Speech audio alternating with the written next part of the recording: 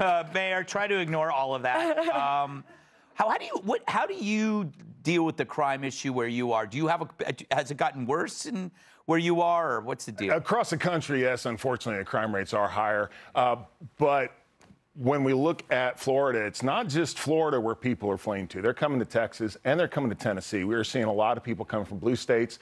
They're tired of the taxes, they're tired of the crime, they're tired of their schools acting like indoctrination centers instead of centers for education. Mm-hmm. when it comes to crime, look, in Tennessee, the good guys carry guns too. Right. And we believe that makes all of us safe.